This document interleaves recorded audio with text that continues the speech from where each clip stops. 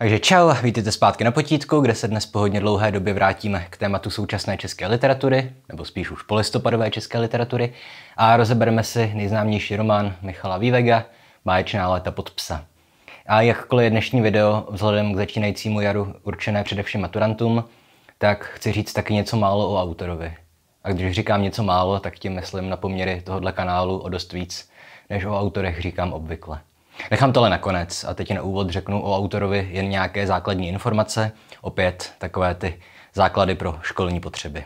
Takže Vývek se narodil v roce 1962, vystudoval češtinu a pedagogiku a krátce pracoval jako učitel na základní škole, což pak reflektoval i ve svých dílech, třeba v románu Výchova dívek v Čechách.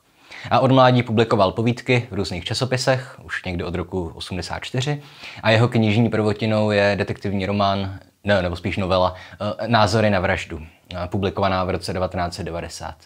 A románová prvotina jsou právě Báječná léta pod psa z roku 1992. Eh, v roce 1993 pak dostal Ortenovu cenu, která je udělovaná nadějným autorům mladším 30 let a krátce na to se začal živit jako spisovatel z povolání. A od té doby produkuje minimálně, minimálně jednu knihu každý rok je to dlouhodobě nejúspěšnější a nejoblíbenější český spisovatel a kromě románů píše taky novely, povídky, autobiografické texty, deníky. Eh, s tím, že většina jeho románů byla sfilmovaná s celkem, myslím, solidním diváckým úspěchem. Méně už kritickým. Zároveň vede již od vydání svého prvního románu Zákopovou válku s českou literární kritikou, která mu vyčítá, že kromě báječných let pod psa nenapsal žádnou umělecky hodnotnou knížku a píše pouze líbivé texty určené rekreačním čtenářům. A tahle válka je oboustranná, protože vývek do literárních kritiků s oblibou kope nejen ve svých publicistických či biografických textech, ale dokonce i v prózách. Jo, třeba novela Elekci tvůrčího psaní je jeden velký hate na novináře, myslím, že Jiřího Peňáse, což byl jeden z mála kritiků, který se s Vývekem kamarádili, ale později upadl v nemilosti on, protože si dovolil Výveka kritizovat. Případně v účastnících zájezdu, tam je taky postava kritika a tato schytá snad nejhůř ze všech. Jo, a i tohle je oboustrané, protože postava literárního zaprodance, který se vzdá uměleckých ambicí a začne psát pro peníze, se objevuje i v mnoha textech různých autorů, kteří se uměleckých ambicí nevzdali. A Vývegovo osobnost i jeho dílo jo, pak zesměšňují třeba Bohuslav Vaněk Úvalský v díle Moskodlap, nebo Jan Jandourek v prozách Škvár, nebo když do pekla, tak na pořádné kobyle. A kromě kritiků Vývek dlouhodobě bojoval taky proti českému bulváru, což je rozhodně záslužná činnost. A v roce 2012 mu praskla aorta, což málem nepřežil a má to pro něj trvalé následky zdravotní a opět vydatně to reflektuje i ve svých textech, jak literárních, tak publicistických či literárně autentických. Především v sebelitostivé knížce Můj život po životě. Tak a to je jen velice stručný úvod k autorovi.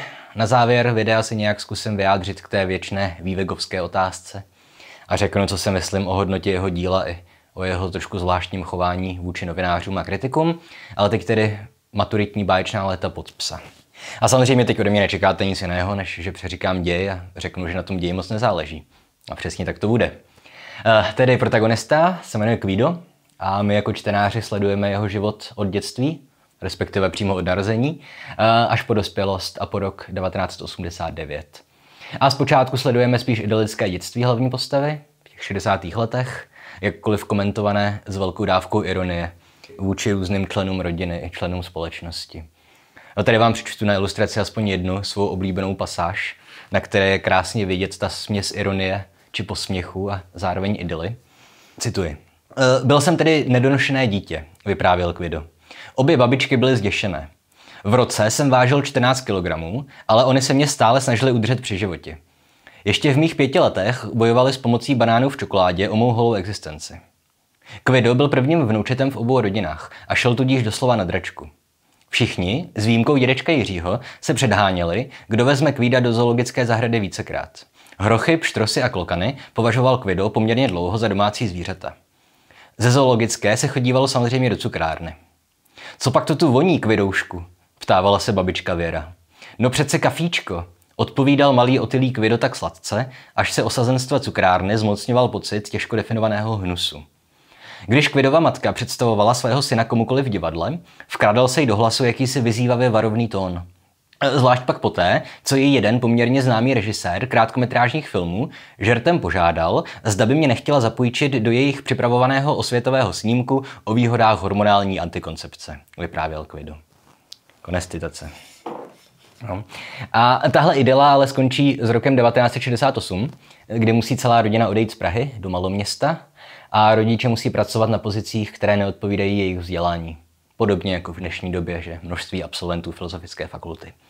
A především otec tu změnu nejdřív bere statečně a pokouší se zvyknout si na nové prostředí i obecně novou životní situaci, ale postupně zjišťuje, že chce žít aspoň částečně normální a nějak pohodlný život, tak musí zkoušet hledat kompromisy s tou vládnoucí komunistickou ideologií.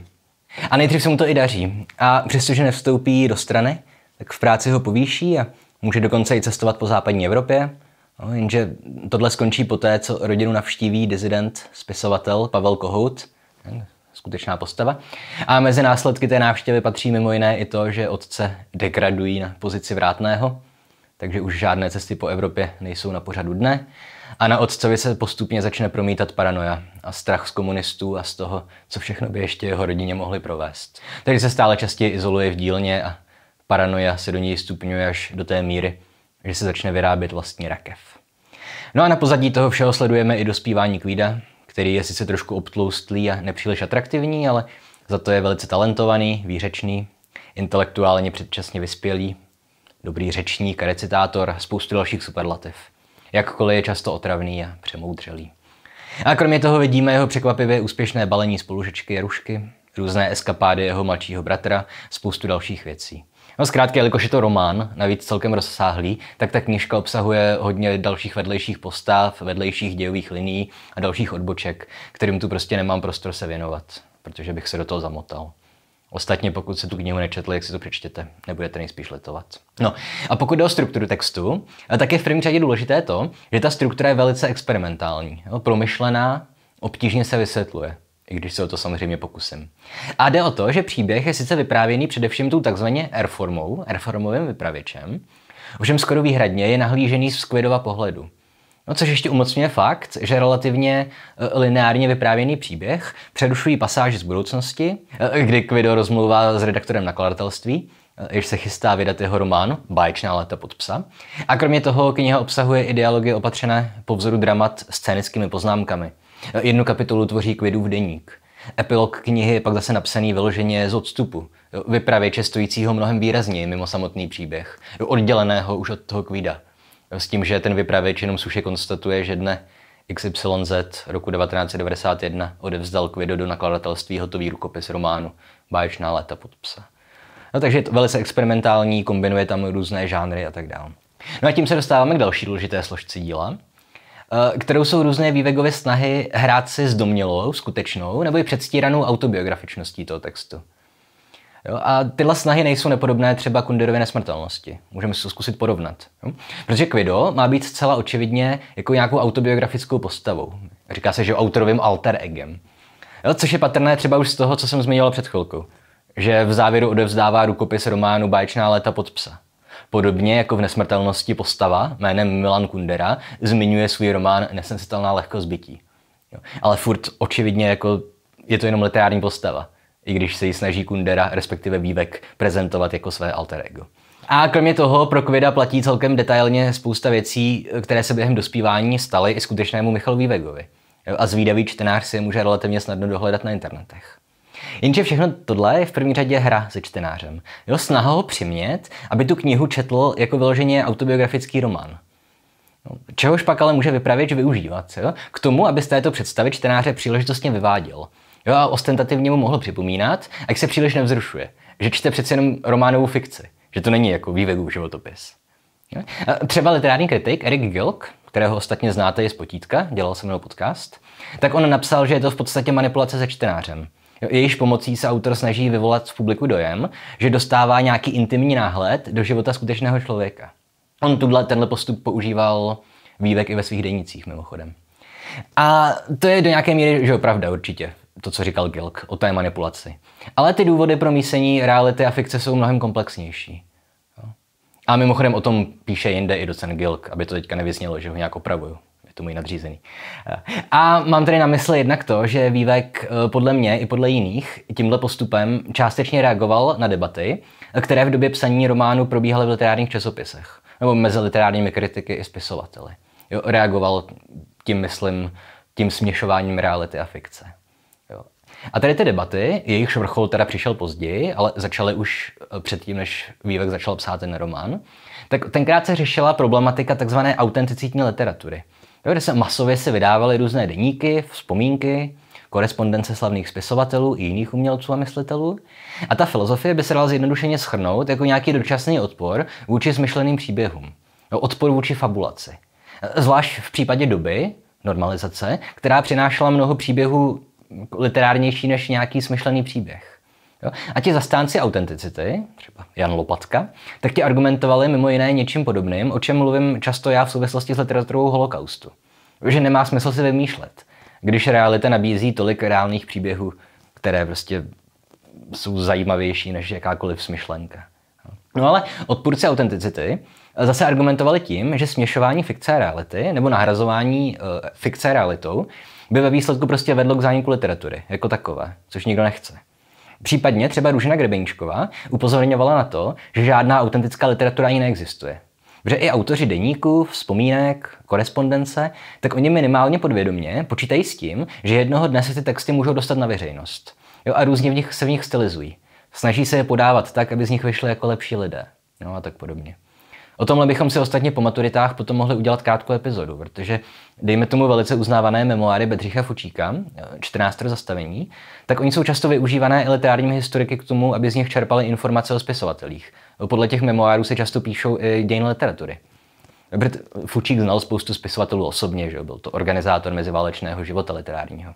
No, ale já jsem zkrátka strávil studiem Fučíkova života i tvorby dost dlouhou dobu na to, abych mohl prostě ukázat že Fučík se často buď mýlil, anebo si prostě vzpomínky přebarvoval, tak aby tím lépe budoval vlastní obraz a odkaz. A aby dějiny české meziválečné literatury přizpůsoboval vlastnímu náhledu na svět. Ale jak říkám, tohle necháme na jindy. Jen jsem ty spory o autenticitní literaturu chtěl zmínit proto, že do jejich kontextu zapadá právě ta Vývegova hra, to jeho balancování mezi realitou a fikcí.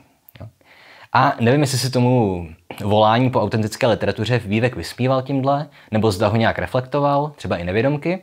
Na tom konec konců nezáleží, důležité ale je, že tímhle přístupem kniha pěkně dokresluje vlastně obraz doby svého vzniku. Ať už doby, dejme tomu, politické a sociální, nebo i doby, jak se projevovala v literatuře a v diskuzích o literatuře.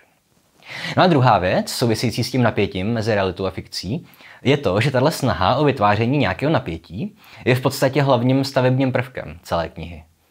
Takže něco podobného dělá Vývek už že jo, se samotným názvem. Báječná léta pod psa jsou očividně ukázkové oxymoron. A není ani nějak obtížné ho rozluštit. Není obtížné odhalit, že Vývek naráží na to, že doba normalizace byla pro něj, pro Kvida, svým způsobem báječná. Že byl mladý, zdravý, objevoval svět, měl první milostné zážitky a prostě neměl s tím srovnávat. Zároveň ale ta léta byla pod psa. No, nestála za nic. Byla normalizace. Vládl nedemokratický režim, vycházející navíc v té době ze zcela vypelichané ideologie už, které nevěřili ani ti, kteří veřejně zastávali. S tímhle, že jo, i v naší současné společnosti souvisí ten fenomén, že tomu se říká ostalgie. To, že především starší lidi mají někdy pocit, že za komunistů se jim žilo líp, že život byl nějakým způsobem snadnější. Protože zkrátka člověk, myslím, tíhne k tomu, že si udržuje dobré vzpomínky a ty špatné vytěsňuje. Takže starší lidi, kteří vzpomínají s ostalgií na normalizaci, si prostě pamatují to, že tenkrát ještě nebylo nohy a záda, holky byly nějak, tak nějak krásnější a pivo levnější. A přesně s tímhle pocitem, myslím, pracuje i Vývek. Tedy, že chápe zvláštní situaci své vlastní generace, to jsou Husákovi děti a ještě starší o něco, která prožila to, co většina lidí považuje za nejlepší období života, v době, která byla jaksi pod psa. A to je už druhé napětí, které autor do románu zabudoval. Tedy jednak napětí mezi realitou a fikcí, že nemůžeme říct, co je pravda, co je jeho skutečný život a co si vymýšlí, a jednak napětí mezi šťastným životem v nešťastné době. To, což je vůbec zajímavé téma, že šťastný život v nešťastné době. Představte si, že jste za druhé světové války, že žijete a máte se dobře. Nejste třeba kolaboranti nebo tak, ale prostě se máte dobře objektivně. Jak to potom budete reflektovat, že zbytek života? Je celkem zajímavá otázka. Jo. A, a těch tenzí je tam mnohem víc. Jo. Jak už jsem říkal, ta kniha je na nich v podstatě vystavěna. Je to její hlavní strukturální složka, jo. jak to chcete nazývat. Jo, podobně třeba můžeme nacházet napětí v tom popisu členů Kvidovy rodiny, kteří jsou líčeni na jednu stranu víceméně s láskou, všichni členové rodiny jsou v podstatě hodní lidé, ale zároveň jsou často popisováni velice ironicky. Někdy je vývek vyloženě zesměšňuje. A opět tím vytváří prostě nějaké napětí. No, protože když se podíváte třeba na postavu Kvidova otce, eh, tak ten na první pohled nepřináší nic nového v rámci české literatury. Podobnou postavu, nějak laskavého, ale poněkud praštěného tatínka, to známe od, já nevím, od Oty Pavla, to je úplně ukázkové, od Karla Poláčka, od Hrabala, od dalších. Ale u Vývega je to trošku komplikovanější. Protože otec eh, v báječných letech pod psa není jen takový trochu popleta, jako třeba ten Pavlův ze smrti krásných srnců. Ale má nějaké skutečné psychické problémy. Chová se vyloženě iracionálně a škodlivě. V podstatě chvílemi na hraně šílenství. A napětí v jeho charakteru se projevuje i tím, jak se pokouší balancovat mezi nějakým odporem k režimu a zároveň i snahou s ním nějak výjít. Jo, je nucený dělat kompromisy, aby pak ale rychle o ty výhody, které díky kompromisům získal, aby o ně se přišel. Kvůli tomu, že se režimu pokusí alespoň nějak nepříliš významně postavit. Dejme tomu, že u sebe přijme na návštěvu dizidenta. No. A to napětí je pak patrné i ve formální výstavbě toho textu, nejenom v obsahu. Jo? Kromě těch zmiňovaných změn v časových rovinách, v žánrech nebo ve vypravěčských situacích, je to taky patrné na tom, jak těsně je vypravěč spjatý s postavou protagonisty. On v podstatě neustále vidí jeho očima, ale přesto Vývek očividně úmyslně neudělal ten poslední krok a nenechal příběh vyprávět vyloženě k vida. No opět ponechal tam nějaký prostor pro napětí mezi tím, že všechno sledujeme vidovýma očima, ale přesto nikoli v přímo jeho slovy nebo přímo jeho myšlenkami. No, I tím pak zbývá prostor pro nějakou nejistotu, nějaký odstup od hlavní postavy. No, a nebo zajímavé je třeba prostě jenom to, že Vývek psal tenkrát o normalizaci do velké míry humorně, s nadhledem, většinou ironií, případně i sebeironií, která byla v počátcích jeho tvorby, myslím, čtenářsky hodně lákavá, ale postupem času i Vývek začal ztrácet, až nakonec začal tak trošku parodovat sám sebe neumyslně. K tomu se ještě dostaneme. Nicméně jsem chtěl zmínit to humoristické podání normalizace, které se později začalo objevovat častěji, ale teď se nacházíme na začátku 90. let, dva, tři roky po revoluci kde vycházely téměř výhradně tragické, velice vážné texty bývalých dizidentů, které ukazovaly normalizaci jako devátý kruh pekla. A humor, pokud vůbec nějaký, u nich byl velice hořký a černý. Nikoliv tak nějak laskavý, že jak to bylo u IVG. No a ve stejné době vyšly třeba že zábranové deníky celý život. To je úplně typický příklad takového vážného, tragického textu o, o komunistech. A humoru je tam sice relativně dost, ale zatraceně černého a kousavého. A opět, tohle je další drobný kousek pucle do celé té skládanky vývegovy schopnosti vložit do té své románové prvotiny rozpory a nějaké dialektické postupy na všech možných úrovních, všech možných struktur. Rozpory jsou už v názvu knihy, v charakterech postav, v náhledu na popisovanou dobu, ale i ve vztahu textu ke kontextu literární scény té doby, ve které kniha vznikala. Rozpory mezi autenticitou a fikcí, postmoderním cítěním a tradičním vyprávěním mezi tragickým a bolestivým zobrazením normalizace u bývalých dizidentů a humoristickým a sebeironickým pojetím téže doby u Vývega. Jo? A jak říkám, mohl bych pokračovat. Třeba, že motiv psa, který je opět důležitý, očividně už kvůli názvu knihy, ale zároveň i v narrativu, opět vytváří napětí. Jo, jelikož že Kvidová matka se psů bojí, protože na ní během těhotenství jeden zautočil a způsobili, myslím, předčasný porod. E, zároveň se rodina později toho samého psa, nebo ne toho sam, tu samou rasu, jo, musí pořídit a paradoxně se z něj stává součást rodiny. No, tedy to napětí jde tak daleko, že pes má při nejmenším pro tu matku zároveň roli nejlepšího přítele i u hlavního nepřítele. No. A ono, já různé kontrasty nebo rozpory zmiňuji u spisovatelů často. No, to je celkem snadno že jo, vytvořitelný umělecký prostředek. Ale v případě báječných let pod psa je to, myslím, skutečně ten nejdůležitější stavební motiv celého textu. Nějaký hlavní autorský plán nebo strategie, nebo jak to chcete nazývat. No a zároveň je ta kniha zásadní proto, že otevřela jednu z mnoha cest, jakými bylo možné psát o normalizaci. Jo, prolomila tabu normalizace jakožto něčeho, kolem čeho musíme chodit po špičkách a je nám dovoleno pouze tiše obdivovat odvahu dizidentů. A v tomhle vývegem nastoleném trendu pak pokračovala řada dalších populárních autorů. Hrdý Budges, Irene Douskové, typicky patří do tohohle směru literárního vzpomínání na normalizaci. Taky v něm vidíme tu dobu očima dětské hrdinky a komika se mísí s tragikou, případně že Šabachovi babičky můžeme zmínit, nebo i jiné knihy Petra Šabacha následují postupy, které vlastně stanovil vývek, i když do menší míry. Pokud to teda můžu soudit jakožto člověk, který se českou polistopadovou literaturou moc nezabývá. No, takže tímhle všem je, myslím, Vývegová románová prvotina výjimečná. V mnoha ohledech se Vývek zkrátka podílel na vývoji polistopadové české literatury. No, ta kniha pomáhala nějak vytvořit její podobu. A to nejen literatury elitní, ale i mainstreamové. No, ta kniha pomáhala nějak utvořit obraz naší širší knižní kultury. Protože na jednu stranu to je nepochybně umělecké dílo, ať už tím, jak je zpracované formálně, originalitou, či výborně budovanou atmosférou stále trvajícího napětí a rozporu. Na druhou stranu se ale nejedná o nějaký text, který by nebyl přístupný běžným čtenářům. Jaké v té době psali třeba Jiří Kratochvil nebo Daniela Hodrova. To prostě nejsou texty, které si přečtete na pláži u moře. Jo, a ani, ani to není nějaká drásavá existenciální výpověď o tragice osudu běžných lidí za komunismu. Dejme tomu ve stylu zábranových, Vaculíkových, nebo Děvišových textů. Tuším, že Martin Pelař z Ostravy o báječných letech pod psa v době vydání napsal, že, že Vývek rezignuje na nějakou kavkovskou tradici literárně náročného vyjadřování absurdity lidské existence, ale namísto toho čerpá spíš z tradice nějaké lidové jarmareční komedie, při které lidi na těch náměstích brečeli smíchy, přestože herci před nimi sehrávali scénky o tragice lidské nízkosti a zloby. Takže za mě osobně, i za naprostou většinu literárních kritiků či teoretiků, můžeme zkrátka báječná léta podpsat zařadit mezi kanonická díla novější české literatury. A ta kniha má hodnotu jak estetickou, tak i vývojovou. A to samozřejmě neznamená, že se nenajdou kritici, kteří Vývegovi nepřiznají ani ta báječná léta pod psa. Jan Kučmáš Vývega obvinil, že je jenom epigon Irvinga, že v podstatě kopíruje jeho svět podle Garpa. Jiní zase upozorňují na to, že už v báječných letech je vývek posedlý buržoazí, střední vrstvou. Že je tu buržoazní autor píšící o buržoazních hrdinech pro buržoazní publikum. Nevím, jsem se taky narodil do střední vrstvy, tak mě to nějak netrápí. A ani se nemyslím, že by si tu knihu nemohl užít i proletariát nebo vyšší třídy. Obecně mi přijde, že celá tato třídní otázka je v rámci literatury trošku přeceňovaná. Jak se přesvědčili mimo jiné už že ve 20. letech chlapci z naší avantgardy když se tomu Tajgovi a Nezvalovi a Seifertovi rozsypal pod rukama celý ten projekt literatury, psané dělníky pro dělníky. Ale opět už odbíhám moc daleko od tématu. Jen jsem chtěl zkrátka zmínit, že existují i kritici téhle knihy, jakkoliv jsou ve výrazné menšině. Na rozdíl od kritického přijetí skoro všech ostatních vývegových románů. Tak, a tohle myslím úplně stačí pro školní potřeby. A úplně na závěr bych chtěl tady jenom krátce říct svůj názor na celý ten vývegovský fenomén.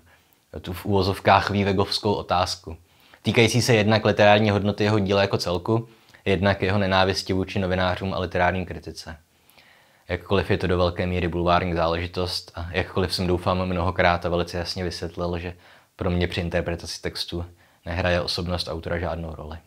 A chci v první řadě říct, že v podstatě souhlasím s tím mainstreamovým kritickým názorem, že naprostá většina vývegových textů nemá žádnou uměleckou hodnotu.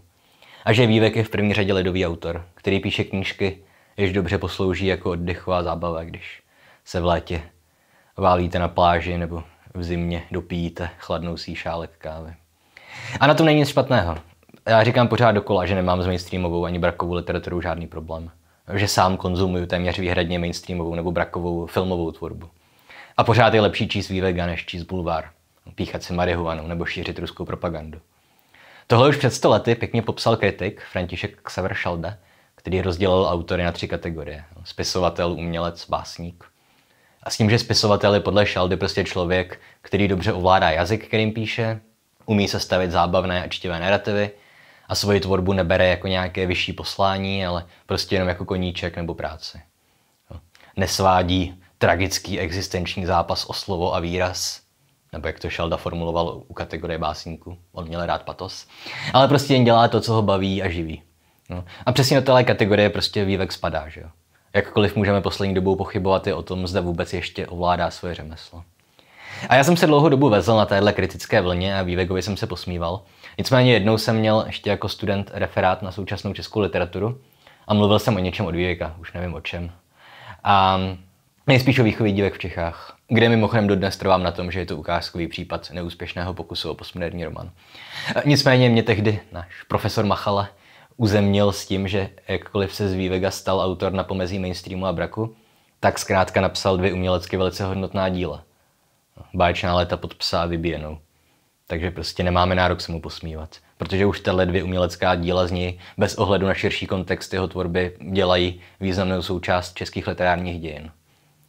Konec konců takový Jiří Volker, že taky napsal jenom jeden a půl knížky.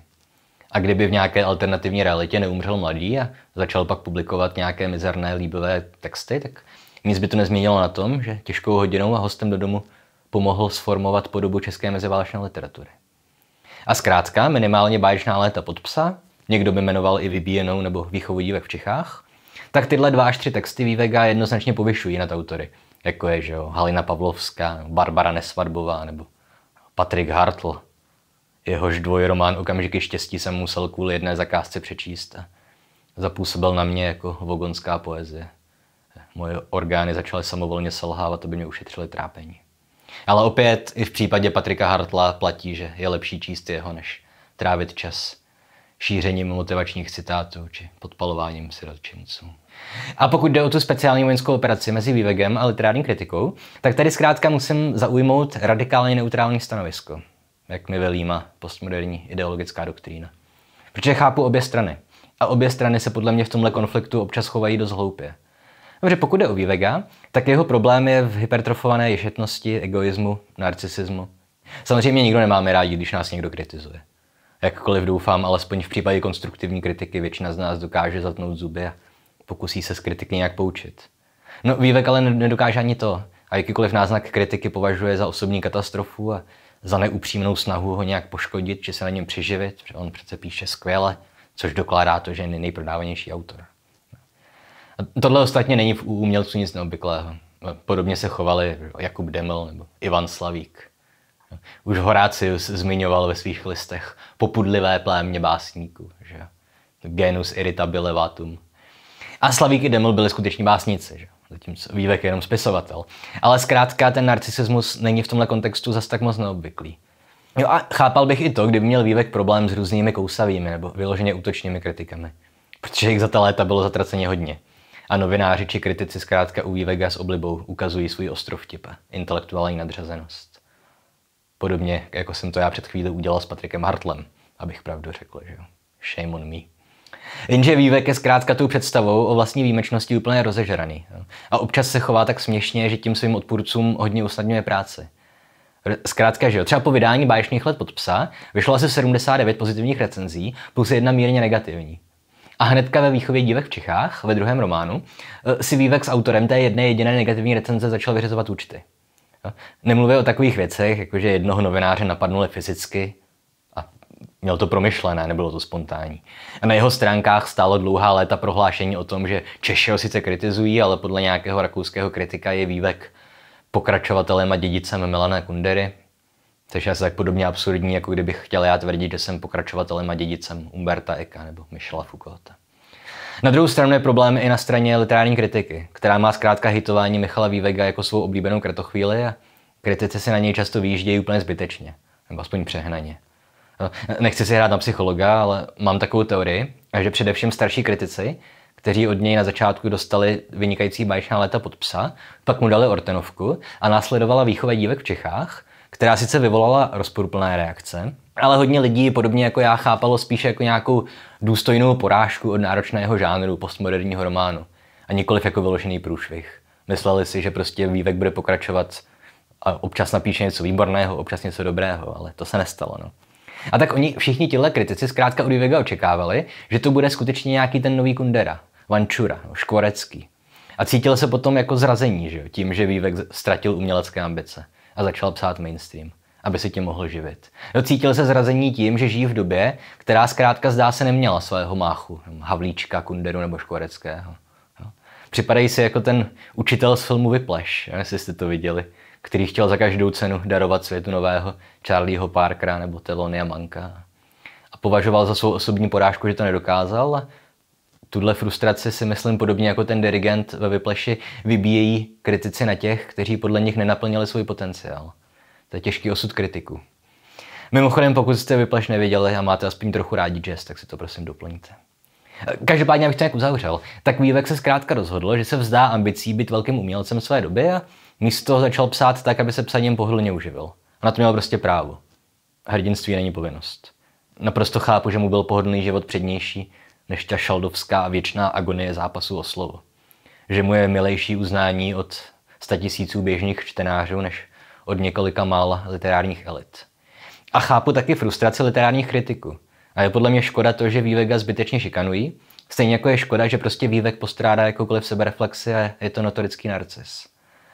Nicméně, že kritici odejdou, Vývegovi mainstreamové romány zmizí z kulturní paměti a z Vývegova narcisismu zůstane jenom zajímavost, kterou budou učitelé dějin literatury okořeňovat svůj jinak nudný výklad. Ale báječná léta podpsa v kulturní paměti národy zůstanou. Zůstanou tam zapsané jako nějaká iniciační proza české polistopadové literatury a to už zkrátka Vývegově nikdy nemezme. A ještě jedna věc, úplně poslední. Já očividně nemám rád takové ty argumenty, které se používají proti literární kritice. Kritizovat umí každý, ale tvořit málo kdo. A kritik je ten, kdo říká, jak by věci dělal, kdyby to uměl. Nebo staré, dobré, a co jsi napsal ty, že kritizuješ. Tohle jsou všechno snadno vyvratitelné a tisíckrát vyvrácené nesmysly, takže už se k něm nemusím vyjadřovat. Nicméně, když už jsem tu zmiňoval, že sám v televizi sleduju především mainstreamové filmy a seriály, tak chci ještě na závěr odcitovat úryvek ze závěrečného monologu kritika Antona Ega z kresleného filmu Ratatouille, protože to je, myslím, celkem pěkné. Cituji. Práce kritika je v mnoha ohledech snadná. Riskujeme jen velmi málo a přesto se stavíme nad všechny ty, kteří nabízejí svoji práci i sebe samé našemu soudu. Přiživujeme se na negativní kritice, kterou je zábava psát a kterou je zábava i číst. Ovšem hořká pravda, které my kritici musíme čelit, je fakt, že ve výsledku má i kdejaký podprůměrný výplot lidské tvořivosti větší hodnotu, než naše kritika je mu určena. Konec citace. No a to je asi pro dnešek všechno. Už to je dost dlouhé ta epizoda. Takže si pište o další knížky, které byste chtěli rozebrat k maturitě. Když budeme mít něco fakt hodně lajků, tak to udělám. A jinak to znáte. Jestli se vám video líbilo nebo jste se něco naučili, dejte like, odběr, sdělejte a komentujte. To všechno je dobré pro YouTube algoritmus. Kromě toho se nás můžete najít na sociálních sítích, především na Facebooku a Instagramu. V úterý a čtvrtky příležitostně streamuji na Twitchi, takže pokud by vás to zajímalo, sledujte mě i tam. Jelikož ty streamy obvykle nějak nepropaguju na jiných sociálních sítích, následuje filozofii, založil si streamovací kanál, aby měl výmluvu pro hraní videoher, ale začali mu tam chodit lidi, takže se nemohl soustředit na hraní. Ale kromě toho nás můžete finančně podpořit na Patreonu, kde za to dostanete nějaké bonusové epizody a přístup do Discordu. A to je pro dnešek všechno. Takže na viděnou příští týden a čau.